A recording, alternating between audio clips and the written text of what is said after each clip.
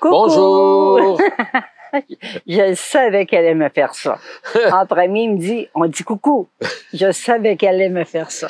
Ben moi je dis bonjour. Ben oui, mais bonjour à tous. Bonjour, bonjour. Ben oui, alors on espère que vous allez bien, Oui, que tout se passe bien pour vous. Malgré la chaleur hein, qui, Ben, ça. encore en France. Là. Espérons que la grosse vague de chaleur s'est un petit peu calmée et surtout que vous n'avez pas trop souffert des gros orages qu'il y a eu cette semaine. mon Dieu, oui, pas mal. grosses intempéries, on a vu ça, on est au courant de tout. Tout, tout, tout. C'est Ben comme si oui. on serait là.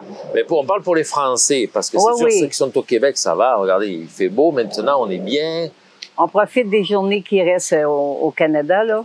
On, on va être correct. Oui, ben c'est ça, on s'en va le euh, dimanche, demain. Oui. On part demain, oui, on part euh, demain. Et on arrive lundi Ouais, c'est ça. en France. Donc on va arriver à l'aéroport Marseille-Provence. Mhm. Voilà, donc euh, ben voilà, c'est bon, on a tout dit, fait qu'on s'en va.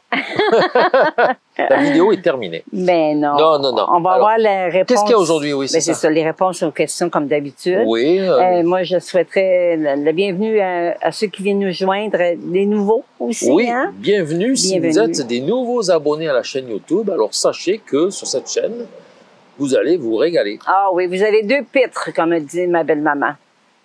Alors il y a les questions, combien de questions à peu près? Une douzaine, je une douzaine, à peu Et- près. Et puis, Puis la dernière question va être avec une nouvelle euh, euh, de Patricia, vidéo en... une nouvelle vidéo. Ouais, une parce que nouvelle vidéo, Patricia nous suit depuis longtemps. Oui, oui, oui. Non, je voulais, je voulais, oh! je voulais dire vidéo de Patricia. Oui, alors donc la dernière question sera posée en vidéo par Patricia. Merci beaucoup Patricia Merci, pour nous avoir envoyé cette vidéo. Mais faites comme elle.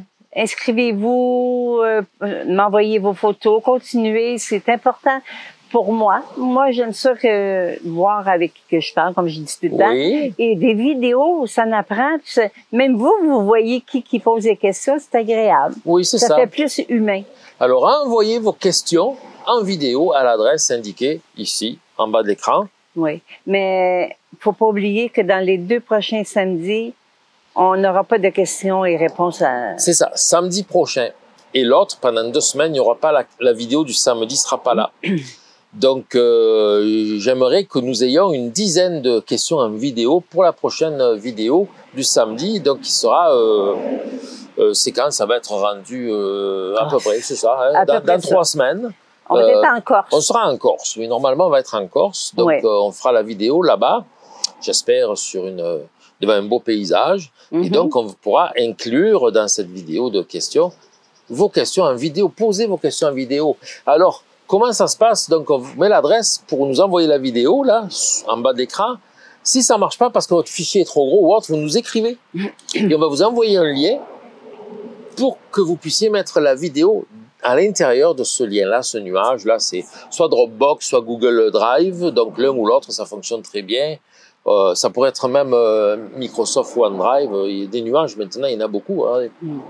Voilà, il n'y en a pas beaucoup, mais euh, Ben non, c'est des filaments qu'on a. voilà. Donc, on s'occupera euh, de vous. Ne vous inquiétez pas. Vous nous écrivez, puis on va vous donner tous les moyens pour nous envoyer votre vidéo. Une Mhm. vidéo de quelques secondes, ça suffit Mais de poser oui. votre question. C'est bien Mais oui. agréable. Ben oui. Hein? Puis on va voir, euh, tu sais, à la fin du, euh, du vidéo, là, on va voir le moulin à laine d'Ulverton et la rivière. Oui, c'est ça. Donc, on est parti euh, passer la journée au moulin à laine d'Ulverton. Mm. Alors, vous allez voir, c'est un, Très, très beau. Il y a que trois moulins à laine qui se visitent dans le monde, Mm. dont celui ici au Québec, le moulin d'Ulverton. À Drummondville. C'est à Drummondville. Euh, non, c'est à Upton. À Upton. non, Ben, Ulverton. Ulverton. Ulverton, mais c'est près de Ouais, Drummondville. une demi-heure de Drummondville. Et alors, euh, donc c'est un moulin qui se visite. Alors, il y a la vidéo euh, à la fin, ça fait à peu près une dizaine de minutes, mais vous avez peut-être euh, trois minutes à l'intérieur du moulin. Où on voit beaucoup de, on voit comment ils faisaient les choses avant. Moi, ce qui m'a impressionné, c'est comment euh, ils fabriquaient des machines, hein, des machines extrêmement complexes. Sans avoir eu euh, de plan, en fait, c'est de l'invention. Ils ont inventé des machines. Excusez. C'est des mécaniciens de, de, de, de tracteurs, de, de, Et puis, de euh, la, de hier. mécanique, on va dire, agricole, qui se sont penchés sur les, la réalisation, la fabrication de ces machines-là. Vous allez voir, elles sont extrêmement complexes. Et donc, euh, ça fonctionne depuis, euh, je pense, 1840. Mais c'est ça. Euh, Imagine-toi euh, toutes les inventions qu'on fait. Hein? Voilà. Et donc, vous avez des beaux paysages, parce qu'il y a la rivière. Donc, on a suivi la rivière en sentier, et je vous ai mis des belles images de paysages. Vous pouvez faire des captures d'écran. Pour faire vos euh, Des tableaux. tableaux, pourquoi pas. Donc c'est à la toute fin de la vidéo. Hein, Donc la dernière question, c'est celle de Patricia en vidéo, puis après on embarque là-dessus. Ouais. C'est bon? Puis euh, pour lundi, on a euh, sur la formation, on a le pastel sec, Oui, étude de couleurs. c'est ça la deuxième euh, partie du cours de pastel sec va sortir lundi dans la formation La peinture c'est facile. On avait la première partie il y a deux semaines qui était le euh, étude en noir et blanc, mais là cette fois-ci ça va être une étude en couleur. Mm. Euh, et puis après ça, il s'en vient euh, des choses plus intéressantes, euh, paysages, les nuages, les fleurs, des choses comme ça. Vous allez voir, ça va être très intéressant. Une semaine sur deux, vous avez les nouveaux cours de Linda Boyd au pastel sec. Mhm. Puis il faut pas oublier aussi qu'on on donne des abonnements 7 jours gratuits Oui. de la formation à tous ceux qui viennent se joindre à nous. Dans la description sous la vidéo, vous avez un lien pour vous inscrire obtenir une semaine de participation à cette euh, formation gratuitement, 7 jours gratuits. Pour ceux qui l'ont pas encore découverte, je vous invite vraiment à le faire, à y aller, cliquer sur le lien, Mhm. inscrivez-vous gratuitement. Euh, Il y a plus, puis, tu sais, euh, que là-dedans, il y a plus de 3000 abonnés. Hein? Oui. Il y a 450 cours et plus oui, plus, c'est pas un jour, oui. des cours, puis 1200 vidéos à peu près. Oui, Fait que ça fait beaucoup d'heures, Ah oui. même plus de 600, 600 heures. ouais, Hey, ouais, ouais. Mon Dieu, tu nous tourné des choses, Oui, toi? vous avez du. Puis on en rajoute chaque semaine euh, de nouvelles forma- de nouveaux cours dans la formation. Mhm. Voilà. Voilà, on a assez parlé de ces choses-là. Maintenant, Oui. la parole est à vous avec vos questions. Et C'est pas tout, hein? Non? Faut pas Ah. oublier que mercredi qui s'en vient, je pense que c'est le 24, vous allez me voir encore en vidéo. Oui, c'est avec le 24. René. Oui, ah oui. Élève, étudiant. Ah oui, donc euh, Eh mercredi. non, élève, professeur. c'est sur l'époxy. Oui. Vous euh, allez beaucoup aimer. ben, en fait, c'est une vidéo euh, qu'on a faite euh, qui répond à une question qu'on nous avait posée aussi. Mhm. Euh, et Sur donc là, on va vous le montrer. On va faire la démonstration, puis on va vous montrer que oui, on peut poser de la peinture époxy, de, Mm. de l'époxy sur la peinture à l'huile. Ouais. Fait qu'on va commencer les questions. Allez, allons-y. OK, on va commencer avec Julia Ketchifian. Bonjour, Bonjour Julia. Julia. Julia, euh, c'est la semaine passée, Oui. elle nous avait posé une question. Elle nous avait posé la question suivante euh, est-ce que euh, on va pourrait faire un cours sur la peinture abstraite lisible? Et puis euh, j'avais répondu que je fais des recherches et je ne savais pas trop c'était quoi la peinture abstraite lisible. Et euh, voilà, donc là elle a répondu Oui, mais elle avait pour posé... nous expliquer c'est quoi finalement. Oui, c'est ça. Je lis, elle avait posé question vidéo. Euh, bon, merci d'avoir pris le temps de répondre à ma vidéo, qui, je pense, n'a pas été assez précise dans ma demande. Car je vous ai, non, je vous ai vu embêté de ne pas pouvoir y répondre, en effet. Oui. L'abstrait que j'ai pratiqué avec Jérôme Tisserand, peintre, qui n'est plus de ce monde, m'a initié à l'abstrait et plus particulièrement à la découverte de l'abstrait lisible. Ah oui, l'abstrait lisible. Oui. C'est ça, oui, je me rappelle. C'est-à-dire une création abstraite dans laquelle on peut deviner des personnes, visages, lieux, etc., qui peuvent nous laisser aller dans notre imagination. Je l'avoue, c'est assez particulier, mais cela peut être intéressant, car des questions se posent, notamment dans l'harmonie et la composition. Le regard attiré, non, excusez, le regard attiré par le point focal. Les couleurs, combien en utiliser pour ne pas étouffer le visuel. Oui, ben oui, c'est ça. En fait, c'est, ben, ben, on va dire que c'est la définition pas mal euh, de l'abstrait. Euh, mais moi, je pense que euh, ce, ce terme d'abstrait lisible, si vous allez faire des recherches sur Internet, et pour que ça corresponde à cette définition-là, où on fait des peintures abstraites dans lesquelles on va voir euh, un personnage, un papillon, une fleur ou autre, on va voir des choses, je pense que c'est l'abstrait visible. Regardez bien dans Internet, j'ai fait des recherches et je pense que ça correspond à ce qu'on appelle l'abstrait visible et non pas l'abstrait lisible. Euh, effectivement, on va découvrir des choses dans, dans l'abstraction. Euh, c'est sûr que, alors, pour répondre initialement à la question, la peinture abstraite n'est pas ma tasse de thé, ça n'est pas ma spécialité. Mais nous avons commencé à entrer des nouveaux cours, euh, des, des- on va dire des cours de nouveaux professeurs. Donc moi je pense à Jean-Antoine. Euh, je suis certain que Jean-Antoine pourra nous faire un super cours là-dessus. Ben oui, ben oui. Ou bien d'autres professeurs que nous allons euh, Intégrer, rajouter, intégrer à la formation petit à petit, parce que euh, nous sommes maintenant rendus euh, Quatre. Un, deux, Actuellement, il y en a quatre. Quatre. Nous sommes quatre à avoir mis des cours dans la formation. Ça continue. Linda Boyd va être aussi notre professeur euh, Aquarelle. d'aquarelle. On va commencer cet automne à faire de l'aquarelle avec elle. Jean-Antoine, lui, continue. Là. Euh, On va commencer cet automne à mettre ses cours de Modigliani, Mhm. l'atelier du faussaire et une reproduction d'un tableau de Modigliani. C'est vraiment très intéressant. Et donc, je vais lui demander, puisque c'est lui qui nous a fait les cours sur le pouring, il est très bon là-dedans, peut-être de nous faire des cours sur l'abstrait. Et là, il me vient une idée, tout à coup, sub- subtil, su- sub- su- comment on dit euh, Subtilement. Non, là, là. Immédiatement. On pourrait très bien, à un moment donné, intégrer, pourquoi pas, dans une vidéo du mercredi, quand c'est technique comme ça, un autre professeur comme Jean-Antoine. Ça, il ferait certainement plaisir de participer Ben oui, à une vidéo comme ça. Pourquoi ben pas oui. On va Mhm. voir avec lui. Tiens, hein, S'il y a le temps aussi. de l'abstrait. ou autre. Oui, il aura le temps. Il aura le temps. Ça, c'est ça, ben parce oui. qu'il parle beaucoup, hein. Ah oui, là, par contre, elle peut être longue, la vidéo. Je ferai des coupures. C'est bon. Donc, on va s'occuper de ça. D'accord. C'est bon. Fait Et merci encore euh, à Julia. oui. On continue avec Nicole Bertrand. Bonjour, Nicole.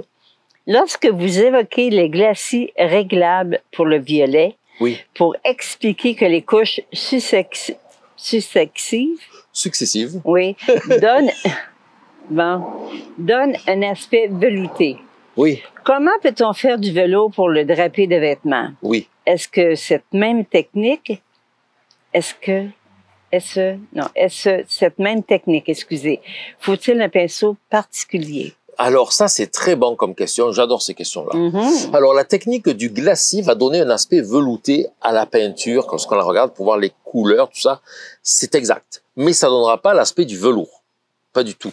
Si on veut faire un drapé avec du velours, et si vous vous mettiez à peindre une nature morte avec des pêches, la peau de la pêche, qui est veloutée aussi, du velours, on doit représenter ces, ces matières euh, ben, simplement comme on les voit. Mm. Euh, quelle est la particularité du velours? Ça va être euh, sa texture, oui, il y a des mouches. Sa brillance aussi. Vous mettez une pomme sur une table avec un projecteur dessus, la pomme va se mettre à briller à certains endroits. Vraiment une brillance particulière. À côté, vous mettez une pêche. Elle brillera pas pareil, la pêche. C'est terminé, il n'y a plus de brillance comme ça. Ça va être très différent.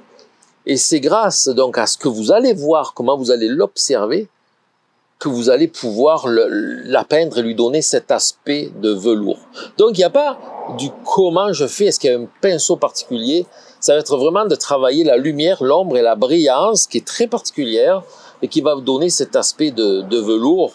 Euh, je pense qu'un jour il faudra que j'en fasse parce que ça m'intéresse vraiment beaucoup. Puis attention, il y a, il y a peut-être des velours qui sont plus brillants que d'autres aussi. Ouais. hein. Ouais. On pense euh, à la à la manche euh, du euh, sur le bras de la Joconde, qui a un tissu qui qui est parfois un petit peu brillant, parfois non. Ça peut être un- une sorte de velours. À cette époque-là, il y avait beaucoup de velours. Hein. Ouais, ouais. euh, Puis c'était épais aussi, hein. C'était très épais. Ça peut être un velours plus ou moins brillant. Alors, ça se peut que vous voyez passer un oiseau autour de nous. Ben c'est oui. c'est un jet bleu. Il est juste à bleu côté là. Avec les pinottes. Voilà, c'est ça. Il aime ça manger des, des peanuts, des cacahuètes. Le matin, là, je vous jure, à chaque matin vers 7 heures, il me crie après moi. Ouais, c'est un- Pour que je vienne lui donner des pinottes. Il est au-dessus. Il vient manger les peanuts. C'est un jet bleu. Oui. Voilà, donc c'est ça. Le velours, c'est très particulier, effectivement. Puis, euh, on, on va regarder pour faire ça, pour faire une vidéo, pour euh, comment on peint du velours. ouais, puis faut-il un pinceau particulier? Mais non, Non, pas non, du non, c'est vraiment euh, très... euh, la particularité, c'est la façon de peindre. Et la façon va, va être de, de, de représenter ce qu'on voit comme on le voit. hein. C'est toujours pareil. Hein. Mhm. OK, on continue avec euh, sur la vidéo de peinture à l'huile Gamblin que tu avais faite. Oui, il y a plusieurs questions là-dessus, oui. il y en a pas mal. OK, on commence par Isabelle Saint-Onge. Bonjour, Bonjour, Isabelle. Isabelle. Puis Isabelle a trois questions à trois places différentes. on va commencer avec ça. Elle dit, vous parlez d'alkyd pour accélérer, accélérer le séchage à l'huile, Oui, qui est presque aussi rapide que l'acrylique. On pourrait s'en servir au couteau afin de raccourcir le temps de séchage. Oui, on peut. Lorsque vous faites une peinture au couteau, euh, l'idéal, c'est de rajouter dans votre peinture euh, un médium euh, d'empattement. Hein, pour permettre à la peinture d'être bon, d'être plus économique parce que vous mettez moins de peinture et ce médium d'empattement qui va faire de la quantité, de l'épaisseur. Ça va vous permettre à la peinture au couteau de sécher plus vite, euh, de ne pas craquer dans le temps lorsque ça va être sec, ça va garder un euh, euh, on va dire une matière un petit peu plus souple à la peinture, caoutchouteuse. Mais moi, si je peignais au couteau, que je veuille que ça, sèche très vite, je, je mettrai d'abord mon médium d'empattement, et à ce médium, je peux rajouter un petit peu, effectivement, d'alkyd. Mais attention, l'alkyd, c'est liquide. Donc oui, ça va sécher plus vite, mais ça va rendre votre peinture plus liquide. Donc, c'est pas vraiment le médium idéal pour, euh, pour peindre euh, au couteau. Euh, J'avais fait quelques vidéos dans la formation où j'ai utilisé du, du beurre de Lucas. Lucas Butter, qui est fait exprès pour peindre au couteau et qui sèche très vite. Oui, je me rappelle. Très, très vite. Oui. Comme de l'acrylique même. Même à peindre avec ça dehors à l'extérieur, j'avais été en difficulté parce que ça a séché trop vite. Mm, mm. Voilà, donc euh, le beurre, euh, Lucas, mais alors par contre, faut faire ça dehors, il sent très fort. Il y a beaucoup d'odeur. Mais on peut les envoyer par le e-book gratuit sur les additifs aussi. Oui, puisqu'on hein? parle d'additifs, tout ça, vous n'oubliez pas, Ouais. il y a un e-book gra- gratuit, un e-book sur les additifs pour la peinture à l'huile et la peinture acrylique. Je vous mets le lien ici. Vous allez pouvoir cliquer sur le lien et le télécharger si vous ne l'avez pas déjà fait. D'accord. Et là, j'espère qu'il n'y aura pas trop de bruit dans les micros parce qu'il y a beaucoup de vent. Oui, hein? Mais on a mis notre petit mouton, ça devrait aller. Ben, eh, eh, eh. Bon, c'est un petit écureuil plutôt. Allô? on continue avec Jacques Bergogne. Bonjour, Jacques. Bonjour Jacques. Il dit quelle différence entre l'alkyd et le liquin original? Alors, quelle est la différence entre l'alkyd et le liquin original? Le liquin original, il est un petit peu gélatineux, une certaine épaisseur. Le- L'alkyd est liquide. Liquide, complètement liquide. Euh, L'alkyd, on l'utilise pour ac- accélérer le séchage de la peinture. Le liquin original, on l'utilise pour faire des glacis, de la transparence. Mais il accélère aussi beaucoup la peinture. Si je mets du liquin juste pour accélérer le séchage de ma peinture, ça va fonctionner. Mais je vais avoir cette, euh, on va dire, ce côté un peu gélatineux et euh, euh, la transparence. La- la- ma peinture va être beaucoup plus transparente parce que du liquin original, je dois en mettre pas mal. Je vais en mettre beaucoup plus que du médium alkyd pour faire sécher ma peinture plus vite. Vous voyez la différence, c'est ça. Donc, euh, moi, je dirais le liquin original pour les glacis, l'alkyd pour accélérer le séchage de la peinture à l'huile. OK. Attends une minute, je suis mêlée dans C'est bien d'avoir les deux, donc. Je Ok. continue à parler pendant que Linda... Ben non. Euh, bon, je- je- je- tout de suite. OK, on continue avec Michel. Là. Bonjour, Michel. Elle dit il faudrait plutôt comparer le Gamblin avec Win- Winstar et Newton Oui, professionnel Oui. et non Winston qui est pour. Ouais, ouais, Winton. Elle a marqué. Winston, mais c'est Winton. OK, Winton. Ouais, qui est pour les étudiants. Non, c'est ça.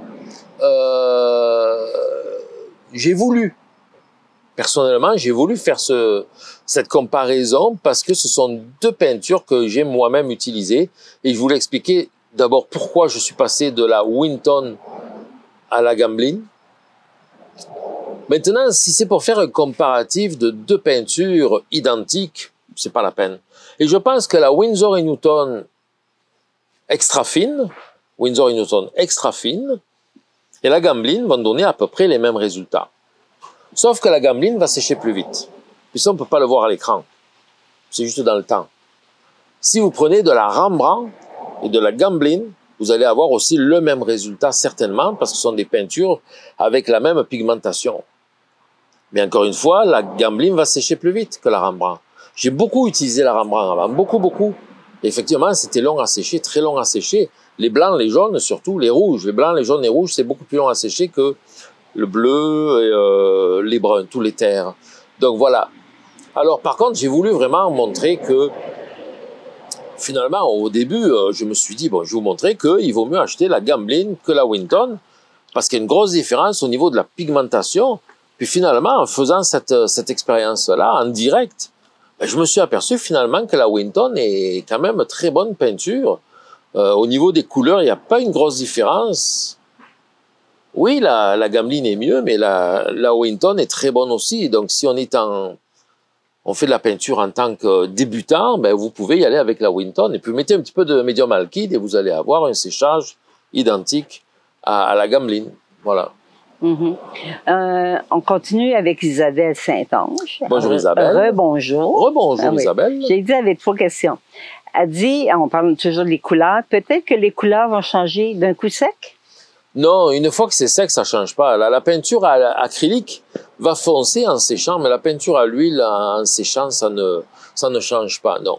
Peut-être euh, une exposition très longue au soleil peut effectivement, oui, changer une teinte, une couleur de, de peinture à l'huile, mais pas le fait que ce soit frais ou sec, ça change pas du tout. On continue avec B. Sierra. Bonjour, Sierra. B. B. Sierra. Tu dis B, moi je dis Sierra. OK. euh, je peins à l'acrylique et je serais contente d'avoir une vidéo comparative car actuellement j'ai de la PBO et de l'abstract de Sennelier. OK. Je me sers de la PBO en fond coloré OK. puis de l'abstract en plusieurs couches. Mais je trouve que le rendu me semble un peu terne. Je ne peux, je, ne peux peindre à l'huile traditionnelle pour des raisons de santé et d'installation. Mhm. Mais elle pense utiliser la Cobra. Oui. Elle a une question là-dessus. Ah ben, une question à la fois? Ah oui. Je vais répondre d'abord à la première. OK. Ok, donc euh, je, co- je compte faire un, un- un comparatif effectivement avec la, la Golden que j'utilise tout le temps. Alors l'abstract de Sennelier, j'en ai déjà utilisé, je n'en ai plus du tout, mais euh, je pourrais en racheter pour le comparatif. Et je pense faire un comparatif de trois peintures différentes, donc la Golden, l'abstract de Sennelier parce que vous le demandez, et euh, la troisième, c'est parce qu'il y a une autre question, on nous demande. Euh, on La va- Cobra. non, non, pas la Cobra, non. On, on nous parle aussi une autre. euh, ah oui, la PBO, c'est ça. Ah oui, c'est ça, la PBO. Vous disiez, vous, la PBO Studio, euh, acrylique PBO Studio, l'abstract Sennelier, oui. Et je vais rajouter la Gamblin, euh, la Gamblin, la, la Golden. Comme ça, on va voir la différence entre les trois. Ça sera très bien, je trouve. Mhm. Et ça, donc, ça va répondre à votre besoin et aussi à un autre, euh, une autre personne qui nous parle, qui nous parle aussi de Gamblin, euh, Golden et PBO. Voilà. Maintenant, on va y aller avec la deuxième question, s'il vous plaît, Linda. Oui, monsieur. Après avoir fait une première couche à l'acrylique ou en cobra avec de l'eau, peut-on continuer en utilisant uniquement la cobra pure ou doit-on utiliser le médium pour les couches suivantes? Bon, alors là, on parle de passer de la peinture acrylique à la peinture à l'huile sur le même tableau. L'acrylique est en dessous, la peinture à l'huile dessus, ça va, ça peut se faire, il n'y a pas de problème. La peinture Cobra est une- peinture à l'huile soluble à l'eau. Quand on utilise la peinture à l'huile soluble à l'eau, c'est parce qu'on craint les odeurs, qu'on veut pas avoir des solvants, des diluants euh, et respirer des, des produits nocifs. Donc, moi, ce que je ferai, je continuerai à la peinture Cobra sans mettre de médium, du tout, du tout, couche après couche, ou bien en utilisant que des médiums qui sont faits pour la peinture Cobra à l'eau. Donc, s'il existe des médiums euh, qui vont peut-être accélérer le séchage ou autre, je les utiliserai selon les, on va dire, la prescription du, docteur, là, selon le mode d'emploi du fabricant, pour pouvoir on va dire, euh, mettre des couches successives les unes sur les autres tout en respectant le gras maigre. Si toutefois il y a encore du gras sur maigre quand on utilise la peinture à l'huile soluble à l'eau, parce que je pourrais très bien mettre un petit peu plus d'huile à chaque couche, mais là le séchage va être extrêmement long. Et si on prend la peinture à l'huile soluble à l'eau, c'est qu'on veut peut-être pas aussi utiliser ni de la térébenthine, ni du diluant à peinture euh, ou autre, ni de l'huile, hein, tout simplement. Donc c'est rester dans les médium proposé et offert par le fabricant euh, pour la peinture Cobra. Fabricant qui est pour la Cobra, je pense que c'est Windsor et Newton, Mm. il me semble. Sinon c'est Talence, parce qu'il y a deux, il y a deux peintures à l'huile soluble à l'eau que j'ai utilisées. Il y a l'artisan, je pense. Je pense que la Cobra c'est Talence. Oui, il me semble. On continue avec JCM Dupont. Bonjour. Bonjour JCM. JCM. Il dit merci René. Il, il dit et la Golden. Point d'interrogation. Et voilà. On a répondu. Voilà, c'est ça. Donc, on va- je vais faire un comparatif dans PBO Golden et on va rajouter l'abstract. On continue pour la vidéo de samedi passé. Ok, la vidéo de samedi dernier, oui. Oui, ça- oui. Euh, encore avec Isabelle. Bonjour. Re, Re, re, bonjour Isabelle. bonjour Isabelle. Elle demande quelle est la différence entre pastel à l'huile et pastel tendre? Merci pour vos magnifiques réponses. Ah, il n'y a pas de quoi, ça fait plaisir. Ben, pastel tendre, ça fait partie des pastels secs. Pastel sec, vous avez le, on va dire le dur, le semi-dur ou le semi-tendre et le tendre euh, et le très tendre. Lorsque vous avez, lorsque vous achetez des pastels secs, vous en avez qui sont comme de la, du caillou, de la craie très très dure qu'on va utiliser pour les premières couches. On dirait vraiment de la craie là, tu sais. Puis après vous en avez des plus tendres, on les appelle les soft en anglais. Et puis euh, vous finissez avec le pastel à l'écu là qui est vraiment très très tendre, qui est roulé, fabriqué à la main. Euh, on, on effleure à peine le, le papier puis il laisse beaucoup de matière dessus. Ouais, ce sont tous des pastels secs. Hein, mais le pastel à l'huile, c'est très différent. C'est un pastel à l'huile qui qui est fait comme euh, avec de la peinture à l'huile à l'intérieur. Donc c'est très différent. Mais moi, j'aime bien peindre avec le pastel à l'huile. À l'huile ou non sec? Non, non. À l'huile, oui. Oui, oui. Comme tu faisais au camp de jour avec les Oui, enfants, tout ça, oui. oui. Mais le sec aussi, là. Parce que le sec, tu peux plus fondre que la- à l'huile. mais Ah oui, ah, c'est vrai. À l'huile, c'est difficile à fondre, oui. OK, on continue avec Lucie, euh, Lucie Boudreau. Bonjour, Lucie. Elle, elle dit, même si je peins depuis plusieurs années, vos cours sont très intéressants et instructifs. Merci beaucoup. Ce ne sont pas seulement des cours techniques, ils sont diversifiés et nous font voir tous les aspects de la peinture. Certains de ces aspects sont quelquefois oubliés sur d'autres sites, mais René nous montre vraiment tous les côtés, euh, ouais, tous les côtés, et nous n'avons pas de surprise en peignant parce que c'est bien renseigné. Ben, c'est le but, hein, c'est Ben oui. d'essayer de vous donner le maximum d'informations, euh, euh, pas passer à côté de quelque chose et qu'après ça vous fait des questions non répondues. Hein. Mhm. Elle dit merci encore et ne lâchez pas. Merci on, à vous. On a besoin de toi. Mais elle a une question. Comment fait-on, comment fait-on pour ne pas se battre avec nos tubes de peinture? Les bouchons sont quelquefois difficiles à ouvrir ou bien deviennent tout gommés. Même si je fais attention pour bien les nettoyer et les fermer, le problème persiste. Qu'est-ce que je fais de pas correct?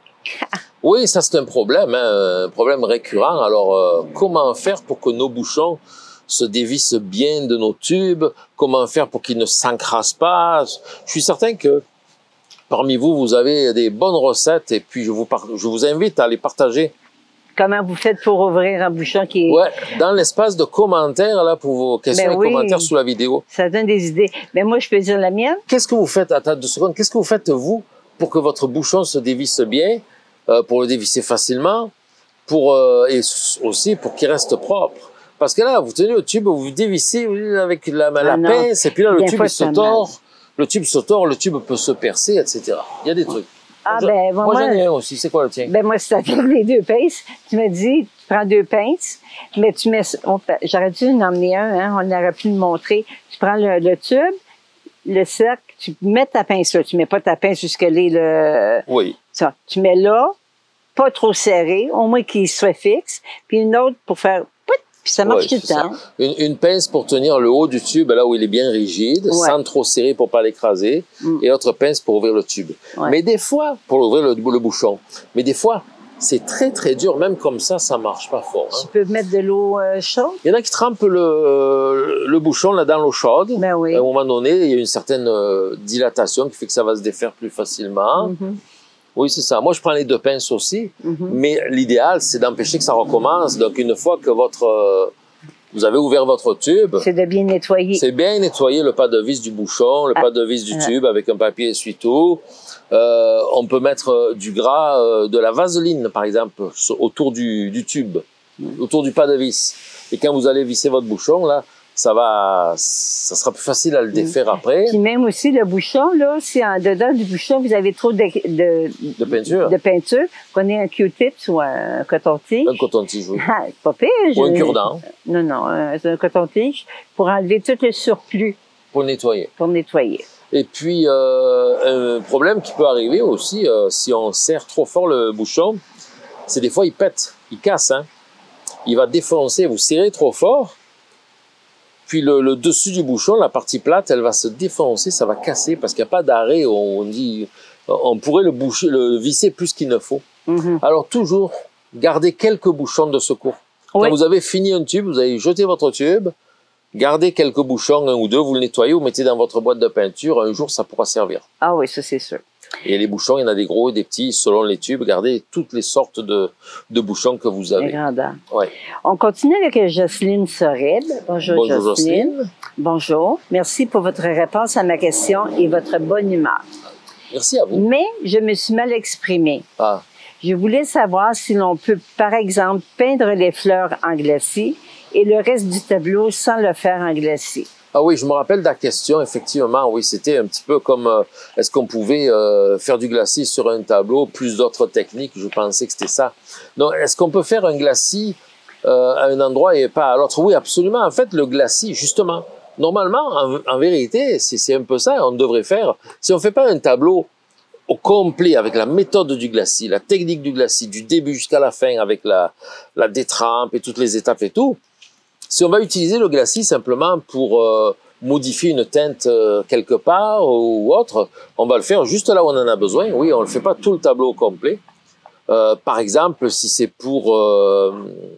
ben vous allez voir dans des vidéos qui vont suivre, qui vont venir dans les semaines suivantes, vous allez voir comment éclaircir la couleur rouge, comment éclaircir la couleur verte, où j'ai utilisé, je vous montre comment on utilise la technique du glacis et si à un endroit particulier, vous n'arrivez pas à faire votre rouge pâle sans qu'il devienne rose, juste pour ça, cette partie-là, vous pouvez faire des glacis.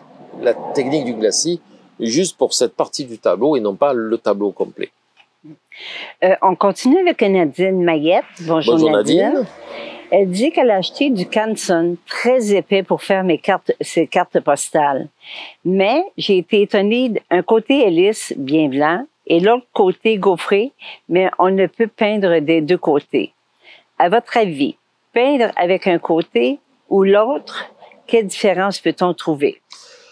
Oui, donc les, les cartes postales en papier canson, donc je suppose que c'est pour l'aquarelle, euh, mais bien sûr on peut peindre avec autre médium aussi dessus, l'acrylique ou autre, c'est juste que c'est prévu pour que ce soit absorbant, hein. si c'est pour l'aquarelle, donc le papier va absorber et on pourrait pas faire de l'acrylique facilement ou de l'huile là-dessus.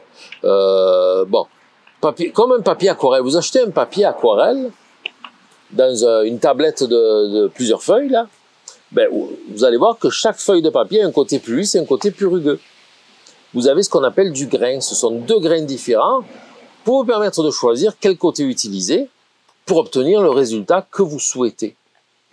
Plus texturé, ça va vous permettre justement de donner un style à votre tableau, votre peinture, euh, plus marqué, plus créatif, plus expressif, plus impressionniste. Un côté plus lisse pour peindre plus euh, réaliste avec des détails. On peut pas faire des détails sur le côté rugueux, mais on peut faire, par exemple, avec un pinceau euh, presque sec, très peu de peinture dessus, euh, vous frottez un peu, ça vous fait une texture comme des, des, des- de l'herbage au premier plan, de la neige, tu sais, des choses comme ça. Donc, vous allez utiliser le côté qui vous intéresse en fonction des effets que vous voulez donner, comme on le fait avec un papier aquarelle normal finalement. Mhm. C'est ça. Là, j'ai un commentaire et non une question. Bon, allons-y pour le commentaire. C'est de Micheline Michou-Robert, j'allais dire ça. mais Bonjour. Micheline. Bonjour Micheline. Elle dit très intéressant la comparaison de ces deux marques de peinture. Certain que la Gambling est meilleure et plus chère. Le résultat est plus beau, c'est certain. Le Windsor, Windsor, La Winton, Win, de Windsor et Newton. ah, Winton? C'est qu'elle Win- dit Windsor et Newton. Windsor et Newton. Oui, c'est la marque en fait. Ah. Winton, c'est la gamme. Windsor et Newton, c'est la marque. OK. Elle dit qu'elle l'aime beaucoup et on ne sait jamais ce que l'avenir nous réserve. Un petit cadeau ou un achat de cinq tubes peut-être? Ben oui, ben oui. Ben oui. Parlez-en avec votre mari, hein? Ben voilà. hein. Comparaison en prix, le Newton est moins cher. Oui.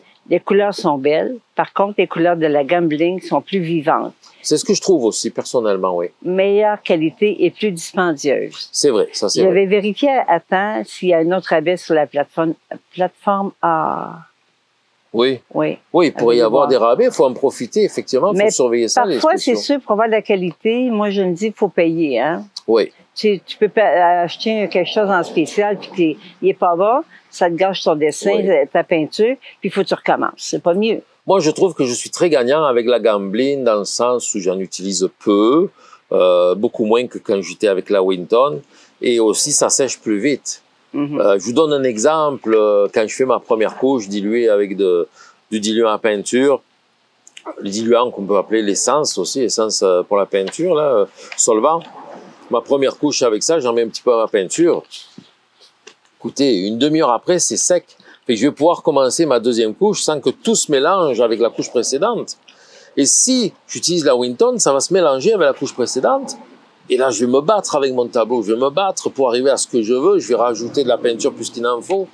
Je vais gaspiller euh, la peinture sur ma palette, mais peut-être aussi le tableau, je vais gaspiller. Vous voyez, là, ce que, ce que j'aime dans la gambline, c'est euh, cette particularité de séchage rapide grâce à l'alcali qui est à l'intérieur. Mhm.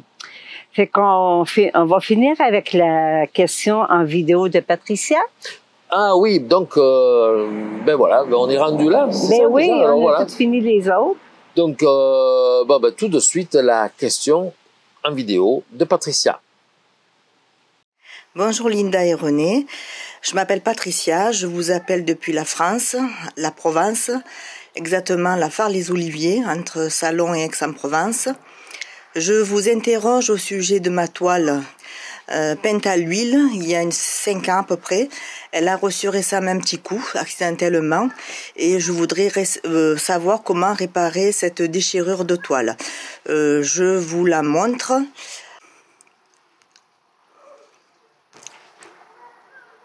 Je voudrais savoir donc comment réparer cette déchirure. J'espère que c'est faisable, je crois bien. Donc je vous remercie René pour votre réponse. Je, je vous souhaite une bonne, euh, une de bonnes vacances en France et vous dis à bientôt. Au revoir.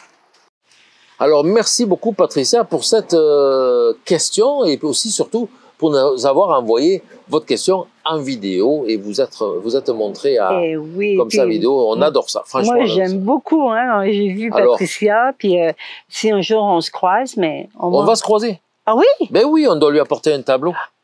Ben, Là, là, bientôt, là. au moins, on va être moins gênés, mais on va vous reconnaître. euh, dimanche le 28 août, je pense. Ah. va, on, on va se croiser, on va lui remettre un tableau en main propre. Mhm. On a bien hâte. Merci beaucoup, Patricia. Donc, euh, alors justement, euh, ben, je, je pense, je pense, je suis pas certain que dans la formation j'ai mis une vidéo là-dessus. Euh, je me demande si j'ai pas mis une vidéo là-dessus dans YouTube aussi. Je ne sais pas. Écoutez, à un moment donné, on a- parce qu'il y a, je sais pas combien on a de vidéos sur la chaîne YouTube, c'est trop. Je vais faire une vidéo là-dessus. Je vais vous répondre à la question en vidéo, mais je vais répondre tout de suite. Mais je ferai une vidéo parce que c'est un, c'est malheureux. Hein, c'est un problème qui peut arriver à tout le monde. Moi-même, ça m'est arrivé. Euh, il y a très longtemps, ça m'est arrivé, puis c'était juste en haut du ciel d'un tableau qui était un peu allongé. Fait que j'ai coupé le tableau, j'ai changé le, le format, puis ça a réglé le problème. Mais j'ai fait des réparations, non pas pour mes tableaux à moi, mais pour des tableaux d'autres personnes. Et ce qu'il faut faire, bon, ce qu'il faut faire, on va commencer par euh, coller à l'endos de la toile un morceau de toile, donc on récupère ça, on, on utilise ça du- d'une toile euh, qu'on a acheté pas cher, une petite toile, un petit format, vous l'achetez là, vous coupez la toile et vous allez utiliser, ou bien vous achetez un morceau de toile euh, en rouleau, ou, euh, vous avez aussi des fois des, des pads, euh, des, des carnets que vous achetez, carnets où c'est des feuilles de toile hein, pour peindre dessus. Il vous faut un petit morceau de toile et vous allez le coller, ce petit morceau de toile, à l'endo avec du médium gel acrylique. Donc, vous mettez votre toile à plat, la peinture, le côté peint sur votre table. Le mieux, c'est d'utiliser une truc épais, un livre par exemple, ou un cahier. Posez ça sur le cahier, que ça fasse un bon appui.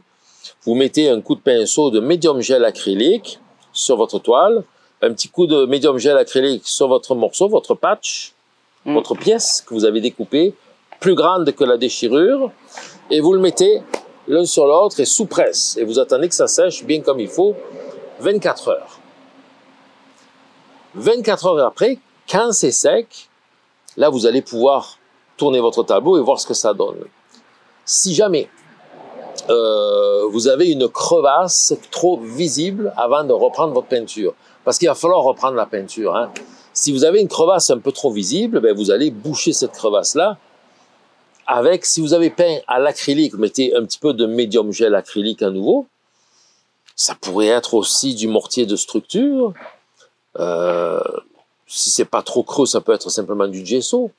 Euh, si, vous avez peint en peinture à l'huile, ben vous mettez euh, peut-être un petit peu de médium d'empattement pour la peinture à l'huile. Juste un peu de médium sans peinture dedans, pour boucher le trou. Vous savez, médium d'empattement, ce qu'on ajoute à la peinture à l'huile pour faire du, de la peinture au couteau. Et à ce moment-là, vous avez maintenant votre surface qui est plane, et avec un petit pinceau, tranquillement, vous allez, lorsque votre médium est sec, vous allez peindre le, le motif que vous aviez fait en peinture. Là, vous allez essayer de petites touches, essayer de le corriger, de le réparer. Si ça se voit trop, n'hésitez pas à reprendre un peu la peinture un petit peu plus grand que juste la, la, la déchirure. Peignez un peu plus grand, un peu plus haut, un peu plus bas, vous refaites un petit peu des choses comme ça, et vous allez voir que ça va fonctionner. C'est moi, dans mon cas, j'ai toujours réussi à faire disparaître complètement la, la déchirure, ça se voit plus. Puis votre euh, réparation, je peux vous garantir qu'elle va être plus solide que le reste du tableau, parce que si ça a déchiré, c'est quand même, il y a quand même une certaine fragilité. Voilà. Puis qu'est-ce qui va être euh, le fun, c'est quand on va aller la voir, probablement on va l'avoir fait. Euh, qu'est-ce que tu as dit? J'espère que ça sera fait, on va regarder ben ça. oui, on va, regarder, on va regarder avec vous. Oui, hein? oui. Et là, il m'avait une idée d'un coup, là, comme ça, là. Je me dis, ben, si votre toile est vraiment fragile, admettons, vous avez acheté une toile vraiment bon marché, au lieu de faire une petite pièce qui fait juste la déchirure, vous pouvez mettre euh, un morceau de toile sur l'ensemble de la toile en arrière. Hein. Mhm. Très bien, ça va vous la renforcer, vous la solidifier. Ben oui, pourquoi pas, tiens. Hein, c'est une bonne idée, ça. Fait qu'on a fini pour nos questions. Oui, bon. Ben, moi, je voulais rajouter un petit quelque chose. Allez, un petit quelque chose. J'aimerais ça avoir des idées de vidéos qu'on peut faire, moi, moi puis René encore, pour le mercredi. Ah oui, des idées de vidéos, on serait tous les deux prof-élèves. Oui, ben comme, euh, oui, j'adorais bon. ça. Alors, qu'est-ce que nous avons fait? Qu'est-ce qui s'en vient que nous avons fait, que vous n'avez pas encore vu? Bon, là, il va y avoir le- la pose de l'époxy, Mhm, euh, la peinture de drapé, mhm. parce que vous avez vu le dessin au drapé, vous n'avez pas encore vu la peinture de drapé. C'est Linda qui peint, et moi je suis derrière. Oui. Et le, le mouvement de l'eau, à la surface de l'eau, avec un pingouin. non, non, Un avec pélican. un pélican. et donc Linda a tenté. Mais il est beau. En Il y a fait, même, elle- je l'ai mis sur Facebook. Euh, mais non, mais on l'a montré la semaine passée, non? On l'a pas montré? De quoi? Oui, mais samedi passé, on l'a montré le pélican comme ça, vite fait? Non, Non, on l'a pas montré? non. C'est sur Facebook que tu l'as mis, Ouais. oui. Ok, ok. Ouais. Moi, je pense qu'on l'a montré. On l'a montré, oui. Ouais. Oui, je l'ai mise au montage, la photo. Ah. Samedi dernier, oui, c'est ah, ça. Ben, ok. Donc, vous avez vu le, le, le- le mouvement de l'eau? Ben, ça, ça va venir euh, euh, dans les semaines euh, plus tard, là, parce que il- la vidéo est au montage et euh, c'est pas nous qui la montons. Mhm. Mhm. Et donc, voilà, si vous avez des idées, si vous aimeriez voir Linda peindre quelque chose de très difficile Et souffrir. et moi perdre patience, eh Mm. bien, euh, su- suggérez-le. Vous voyez pas les coups de bâton qu'ils me donnent après. T'as pas été correct. Ah Paul, ouais. Paul. Non, non, non. Elle aime sa façon. et, euh, qu'il faut, pas, faut continuer à envoyer vos questions puis des vidéos. Oui, n'oubliez pas, hein, je vous remets l'adresse encore ici. Là, envoyez-nous nos- vos questions en vidéo. Puis, euh, vous n'avez pas le choix, c'est obligé. Vous êtes ouais. obligé de le faire, ok? On Vous envoyez, ça. faites une vidéo avec votre téléphone, ça va bien. Pas la Ben peine que ce soit une belle vidéo, c'est pas grave là. Puis ceux qui l'ont fait, ils peuvent revenir puis poser d'autres questions. Vous êtes la bienvenue, hein? Oui, oui, oui. Puis il faut pas oublier qu'on n'a pas encore deux samedis qu'on sera pas là. N'oubliez pas. Ouais, Donc samedi prochain et l'autre, on n'est pas là. on n'est pas là. On est comme en vacances, des vraies vacances là, avec la famille. Mhm, Et euh, après ça, on reprend les vidéos samedi d'après. c'est ça. Puis bon? pour terminer, qu'est-ce qu'on a? Qu'est-ce qu'on a? Ben on met, on vous met ces images du moulin à laine d'Ulverton. Mhm. Et puis, euh, ça se termine avec l'orage. Hein? On commence avec du beau temps, puis ça finit avec Ah. pas mal de pluie aussi. Vous allez voir que nous aussi, ici, on a eu de la pluie comme il Ah faut. oui, oui. Notre piscine, là, derrière, elle a débordé deux fois. Non, oui. Ah oui. Mm. Quand il pleut, il pleut. Eh oui. C'est bon? Allez, on vous laisse là-dessus, sur ces belles images, du moins j'espère, avec une belle musique aussi. Mhm. Euh, j'espère que ça va vous plaire. D'ailleurs, à la fin, je mets le titre de la musique. Et on se revoit donc dans trois semaines. Oui, c'est vrai. Sauf, on va se voir le mercredi aussi. Toutes les semaines, le mercredi, il n'y a pas de vacances. Mhm. Merci beaucoup de nous suivre. Merci de nous être fidèles. Merci de faire D'être là pour. tourner euh, cette chaîne. YouTube, d'être là pour nous et pour les autres aussi, les autres abonnés. Mm. Et on a très, très hâte de vous retrouver. À bientôt. Bye bye. bye.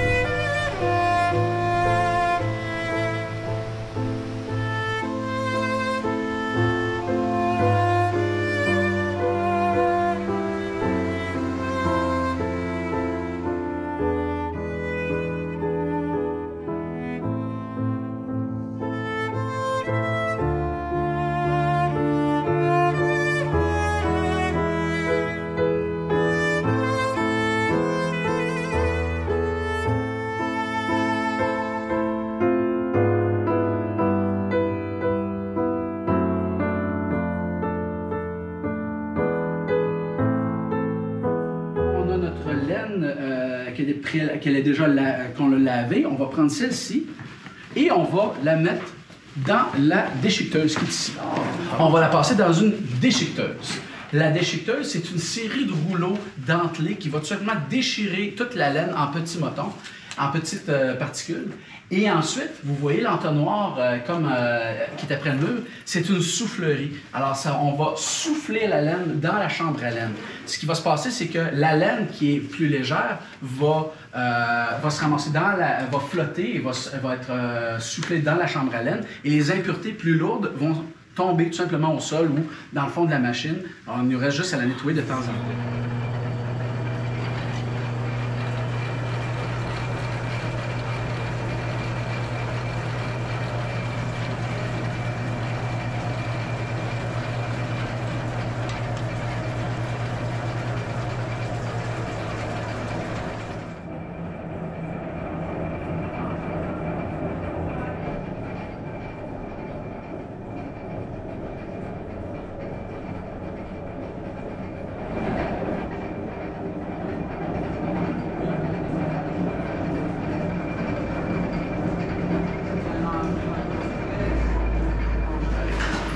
La retordeuse, c'est ici qu'on va, euh, ou le doubleur qu'on appelle, on va, c'est ici qu'on va combiner les fils ensemble pour en faire un fil beaucoup plus résistant.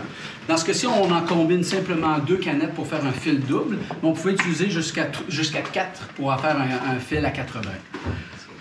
On passe simplement les fils dans une anneau ici, qui va les mettre en parallèle, et il y a une série de rouleaux ici qu'on tout simplement, qui va, euh, et le mouvement des rouleaux va euh, va faire en sorte que le fil va se mettre à se tordre ensemble et ensuite va être embobiné autour d'une bobine.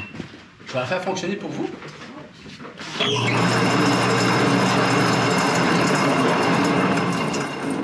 J'aurais du jour ce que je vais pouvoir l'avoir pleine.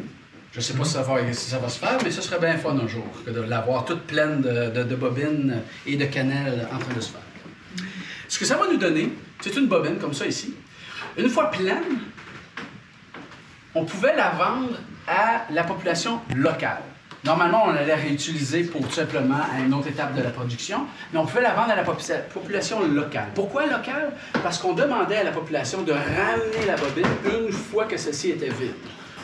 Par contre, on avait une population qui était quand même pas très riche ici. Alors, il y avait beaucoup de réutilisation qui se faisait dès qu'on le pouvait. Alors, la, plupart du monde ne ramenait pas leur bobine, qui était très, très, très dispendieuse à créer ici. Alors, pour, alors euh, et euh, ce que la population faisait pour les réutiliser, bien souvent, c'est qu'ils se faisaient très utile pour faire une poignée pour euh, des outils, très utile aussi pour faire des jouets, des belles petites pour ça, ou même mm. des meubles.